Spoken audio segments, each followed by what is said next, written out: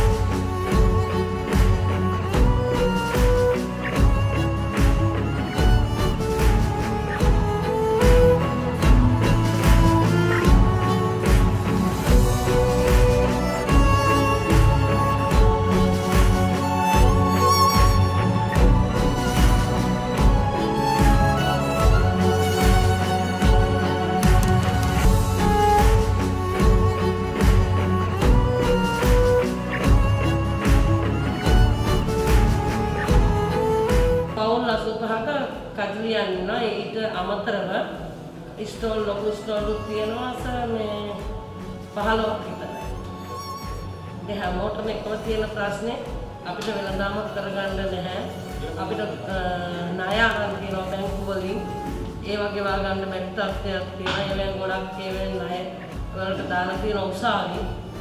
අ, සහනය මාස 3ක් ලැබුණා. දැන් ඒ උනට ඒගොල්ලෝ කියන දැන් ගෙවන්න කියලා. ඒගොල්ලෝ දැන් එවන්නේ ගෙවන්න කියන්නේ අර තියෙන සේරම තමයි ඒගොල්ලෝ දාන්න කියන්නේ. නැති වාරිකේ නෙමෙයි. ඒගොල්ලෝ දැන්ට කියන්නේ. දැනට ගම්පා දිස්ත්‍රික් සංඝ සංගමේ 2017 පමණින් ඉඳන් සිද්ධිලා තිබුණා. අස- වංචා මූල්‍ය වංචාවන් නිසා 2019 අගභාගයේ සිට තැන්පත් මුදල් හෝ පොලියක් ගෙවන්න නැතුව තැන්පත්කාරයන් විශාල සංඛ්‍යාවක් අගතියට පත් වෙලා ඉන්නවා.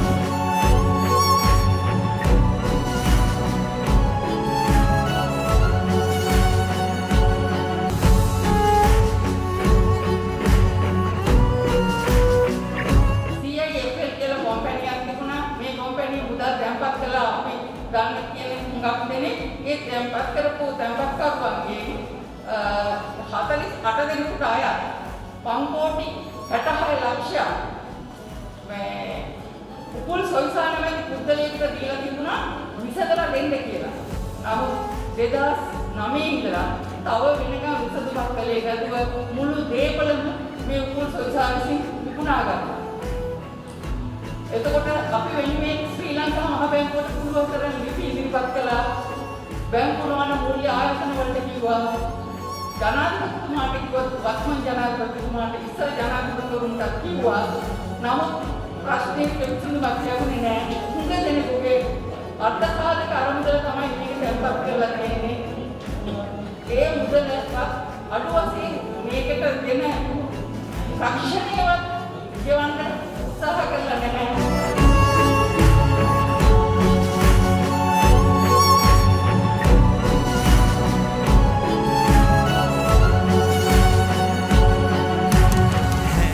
ඔබතුමාලා දන්නවා මේ වර්තමාන රජය බිහි කරන්නට වියත්මග නමින් අලුත් වැඩපිළිවෙලක් පහුගිය කාලේ ක්‍රියාත්මක වුණා. වියත්මගෙන් අදහස් කරේ රටේ වියතුන් උගතුන් විශේෂඥයින් බුද්ධිමතුන් විශ්වවිද්‍යාල ආචාර්යවරුන් මෙන්න මේ කොට්ටාසයකට එකතු වෙලා රටේ අලුත් ගමනක් නව දැක්මක්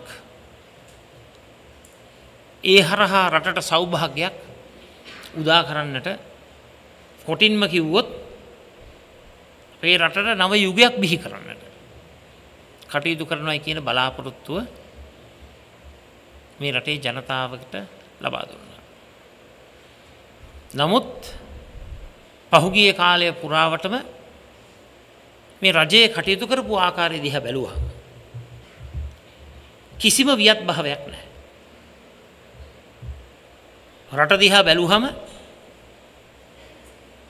කිසිම ඉදිරි සැලැස්මක් නැහැ. රටක් පාලනය කරනකොට මිත්‍රවරුනි පාලකයෝ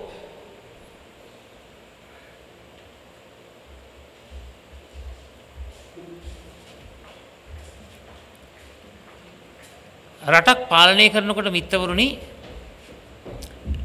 රටේ පාලකයෝ වග බලා ගන්නට ඕන රටට සිදුවිය හැකි අනතුරු පිළිබඳව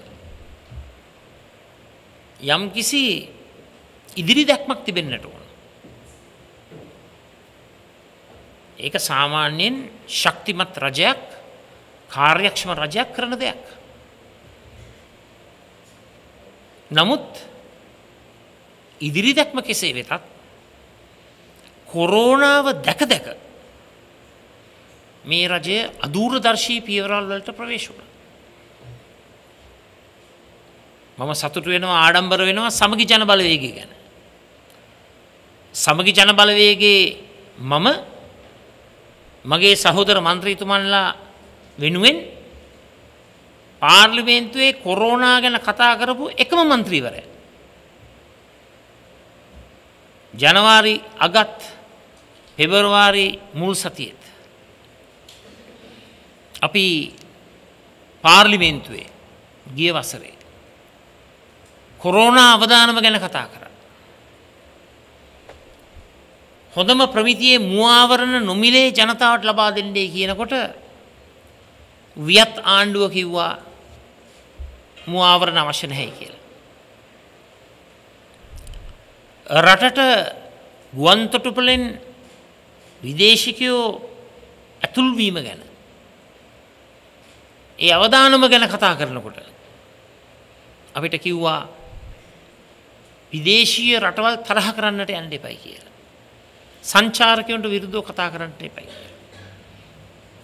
නමුත් මොකද වුණේ අපේ රටට කොරුණාවාවේ අපි රටක් හැටියට ප්‍රවේශම් නොවුණු නිසා.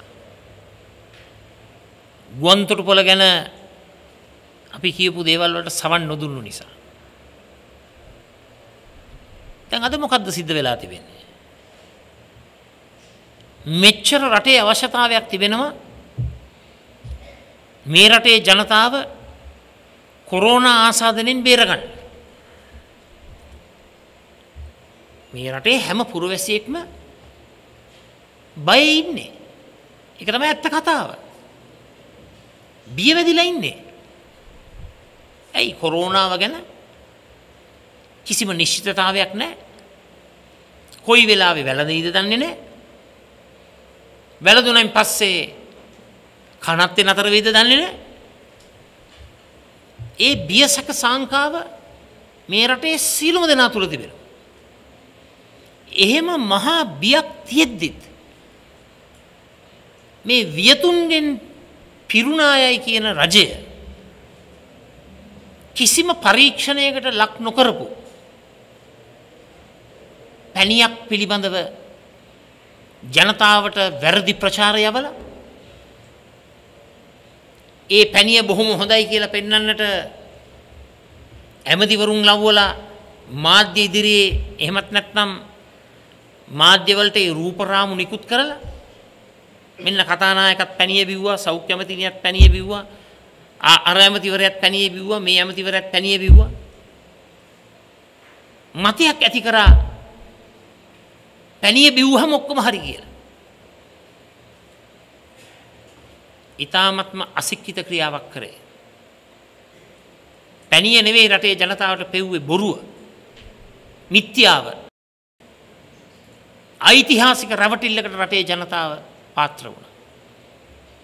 එක පැත්තකින් පැණිය හොඳයි කියාගෙන යන අතරතුර තවත් කොට්ටාසයක් කිව්වා දැම්මම අපේ රටට එන්න තෝන්නේ නැහැ කියලා. කනගාටුයි කියන්න දැන්මම අපේ රටට එන්න අවශ්‍ය නැතේ කියන පුද්ගලයොන්ටත් බොහොම අවාසනාවන්ත විදිහට කොරෝනාව වැළඳිලා. ඒක අපි කනගාටු වෙනවා. දැන් පාර්ලිමේන්තු මන්ත්‍රීවරුන් කිහිප දෙනෙකුට මේ කොරෝනා ප්‍රශ්නයට මුහුණ දෙන්න සිද්ධ වෙලා තියෙනවා. අපි කනගාටු වෙනවා ඒක ගැන. මේ කොරෝනාවට පක්ෂ ભેදයක්, ಜಾති ආගම්, කුල මල පන්ති ભેදයක්, ගෝත්‍ර ભેදයක් නැහැ. මේ රටේ සියලුම දෙනාට එල්ලවුණු මරු පහරක් මේ කොරෝනාව කියන එක. හැබැයි කෝ අර ආණ්ඩුවේ තීන්දුව තීරණ ගන්න වියතුන්ගේ වියක් මග දැන් පැණිය මේ වියතුන් කොට්ටාසය කියන ඔක්කොම හරි කියලා. පැණිය තමයි හරි කියලා. මුළු ලෝකෙම hina වෙනවා. අපි පැණිය ගැන කතා කර කර ඉන්නවා මේ රටේ. ලෝකයේ අනිකුත් රටවල් ජාතන්ත්‍රයේ ගිහිල්ලා අර බෙහෙත අනුමුම් කරනවා මේ බෙහෙත අනුමුම් කරනවා ඔක්ස්ෆර්ඩ් ඇස්ට්‍රසෙනිකා එන්නත ඇනුම් කරනවා. මොඩර්නා එන්නත ඇනුම් කරනවා. ෆයිස බියොන්ටෙක් එන්නත ඇනුම් කරනවා. රුසියාවෙන් ස්පුට්නික් එන්න තැනුම් කරනවා. චීන එල්ල තැනුම් කරනවා. අපේ රටේ ආණ්ඩුව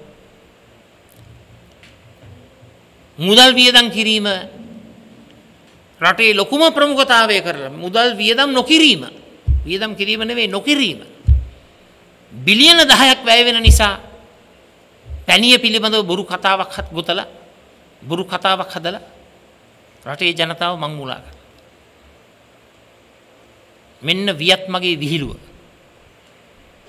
දැන් කොච්චර වියත්මග මේ රජයේ පාලනය කරනවද කිව්වොත් වියත්මගේ උපදෙස් තමයි පාලන් ළඟට ගිහිල්ලා අර ගලාගෙන යන ගංගාවල් වලට මුට්ටි ටික වීසි කරනවා. මේකද වියත්මග? ගංගාවල් වලට මුට්ටි විසි කරන්නද රටේ ප්‍රශ්න ඉදිරියේ 69 ලක්ෂයක් ඡන්දය දුන්නේ. 68 ලක්ෂයක් මුට්ටි වීසි කරන්නද කතරේ ගැහුවේ. මොන විහිළුවක්ද? කෝ විද්‍යාත්මක තීන්දුව? කෝ තොරතුරු මත දැනුම මත බුද්ධිය මත කේන්ද්‍රගත වුණු රාජ්‍ය ප්‍රතිපත්ති? ඒකක්වත් නැහැ. ඒ නිසා ඉතාමත්ම පැහැදිලි රට යන අත හැම අතින්ම භයංකාරයි. දැන් රටේ හැම ශේෂත්‍රයකම කොරෝන. හැම ශේෂත්‍රයක. කොරෝනා ලෙඩේ විතරක් නෙවෙයි. තීන්දු තීරණ ගැනීමෙත් ඔය කොරෝනා හැදුණු විදිහට තමයි සමහර ඇත්තෝ හැසිරෙන්නේ.